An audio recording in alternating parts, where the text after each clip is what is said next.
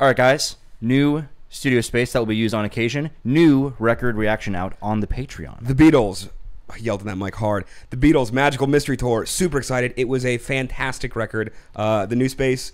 You get to see it on Patreon. I don't know if we'll do it on the channel much. It's just kind of like a, I don't know. We'll do it sometimes. We live here. It's so easy. yeah, this is so the easy. recording space for like editing videos and stuff. Either way, go on Patreon. Less than a cup of coffee or other equivalent item of food or beverage that you'd like to Yep. insert. Check the link in the description. Good. Open Yeah. that link in a new tab. Don't be crazy. Watch this video and then go to the next tab and do, do your business. We'll see you there. See ya. Hey guys, hope you're having a great day as well as a great life. This was a great life. Now, interesting day today because the prompt for today was a little different than most days. It's kind of about a bad song. Yeah, basically, like, what's a song a lot of your friends loved and enjoyed, but you never understood why they liked it? And one of the biggest comments we got was for Ebony and Ivory, a song that was by Paul McCartney and Stevie Wonder. Dog, I didn't think they could do wrong, but what I will say is, like, as soon as I saw like the title pop up for when we were about to hit it, Yeah. I forgot that uh, because I suggested this prompt to you, and I forgot that was the prompt. So it was like, dude, why are we hitting this? I've gotten DMs about this, like, Yeah. hundreds probably over the course of Yeah. the channel, saying, "Hey, this don't hit this song because it's a not good song." Because we had a poll a way while back where this was an option on the poll. Yeah. And a lot of people commented and were just like, no. Like, no, Yeah. no, no, no, no, no, no. Yeah. And so I'm curious if we will share the same uh, reception of the track or Yeah. if we'll find some way to appreciate it. I'm I'm kind of scared to like it. Um, I'm kind of hoping this breeds a new era because we hit bangers all the time. It's bangers on bangers. This is a Yeah. this is a weird sex club in the mid '90s, right?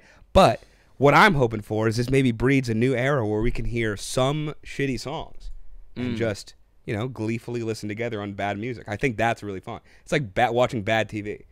that's fair. We've had really good times doing that. Yeah. and making fun of bad So, TV. So, yeah. well, Ebony and Ivory. let's see what happens. Let's do it.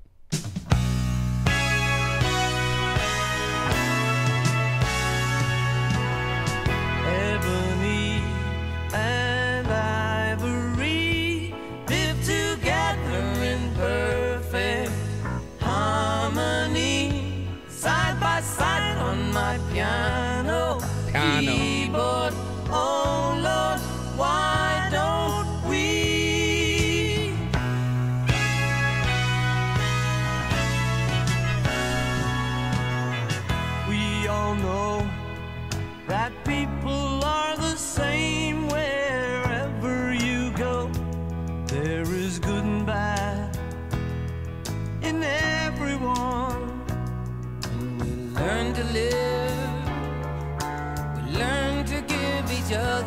what we need to survive. Together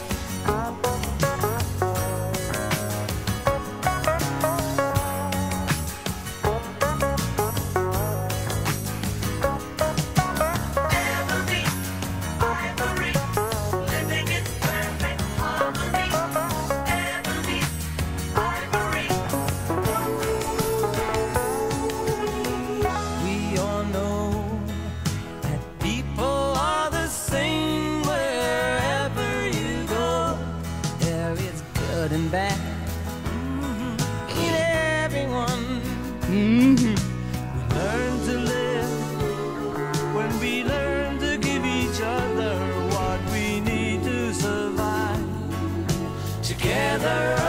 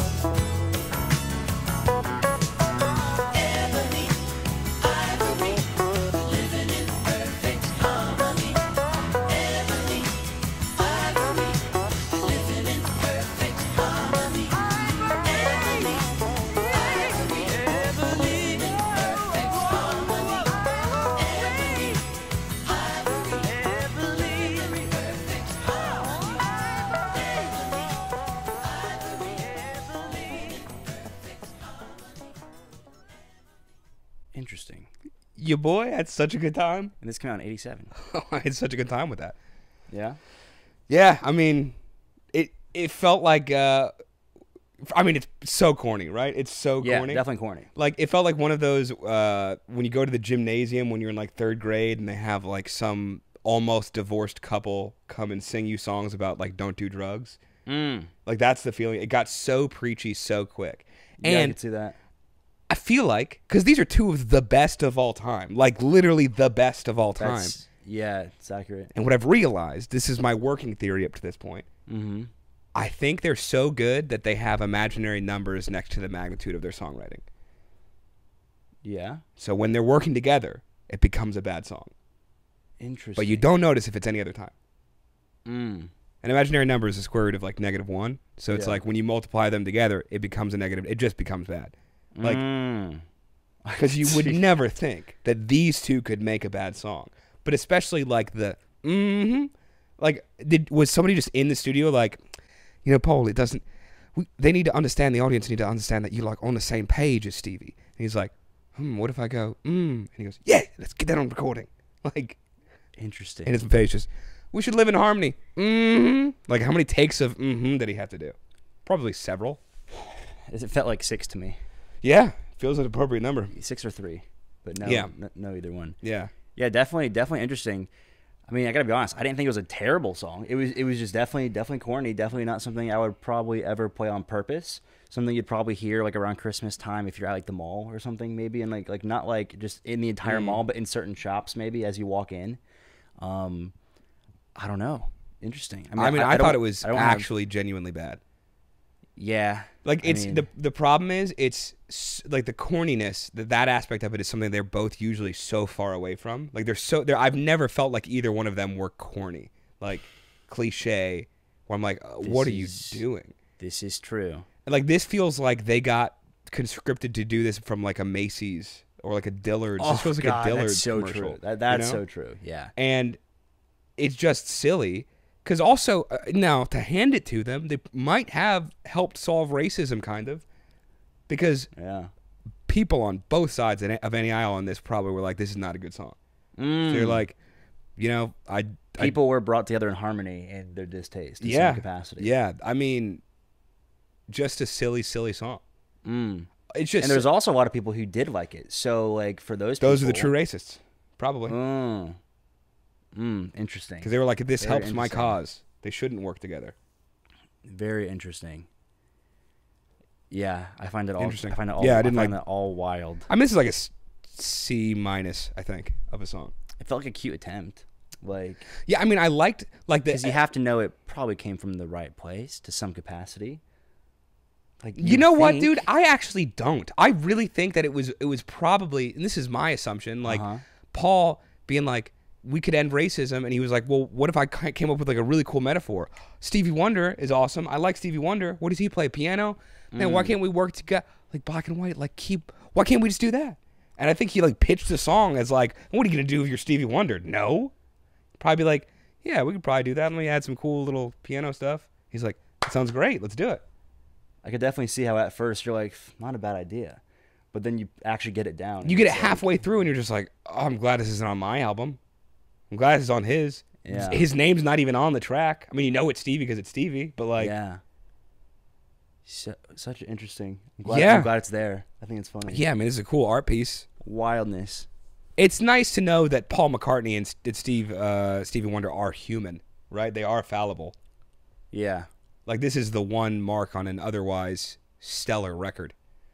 Yeah, I, I feel the thing is I don't have that much distaste for it. I don't enjoy it. I feel like a a, a strong like kind of like neutrality, but I wonder if that's just like copium. If I'm just like coping, like because I don't I don't actually Yeah. feel much of emotional response at all in either direction. Yeah, it didn't make me Like, mad. I, like I feel very just kind of like okay, I, I just know if we had heard this song from not them, Mm. we'd be like, this is the silliest, stupidest thing I've ever heard. mm. Like, you're just being too preachy unnecessarily. Especially if you outwardly enjoy those artists like in general. Or if you just never heard, if you'd never heard anybody Mm. else's music but this song, and this song came on, you for sure would be like, what is going on? I know, and I'm saying if, if that guy's friend really liked the artist, Oh, and, yes, and then yeah, it's yeah. like now he has to like face it to his friend. He's like, "Yeah, like you like you like Paul McCartney? That's wild." Yeah, like did you hear that weird one where he tried to end racism with a piano metaphor? Yeah, it gets a little tough to defend slightly. Yeah. Um, Interesting. Dan, Well, it's hilarious. I love it. I love it for that reason. we're now more cultured than ten minutes ago. Yeah, for sure, for sure. I'll be forever changed when I look at a piano or a keyboard. Oh lord. Nice, nice. All right. uh, dude, I kind of want to hit more bad songs. Let us know another bad song to Yeah. hit at some point in the future. Yeah, we'll see and, you guys uh, there. yeah, we'll see you. Peace.